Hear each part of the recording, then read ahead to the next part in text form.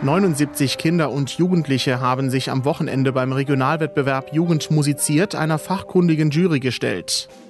Das Ergebnis? 43 erste Plätze. Die 16 besten davon vertreten die Region beim Landeswettbewerb in Mainz. Von den jüngsten bis zu den ältesten zeigten alle Teilnehmer gute Leistungen.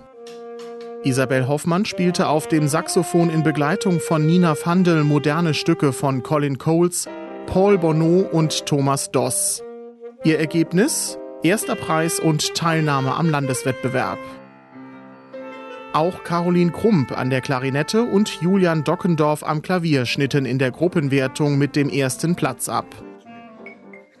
Ebenso erfolgreich Leonie Schmidt von der Musikschule Bernkastel-Wittlich.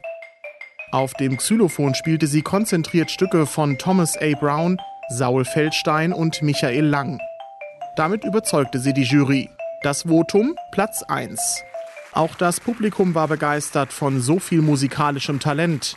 Die Wertungsauftritte waren öffentlich, ein wichtiger Aspekt des Wettbewerbs, der auch das Vorspiel vor Zuhörern ermöglichen soll.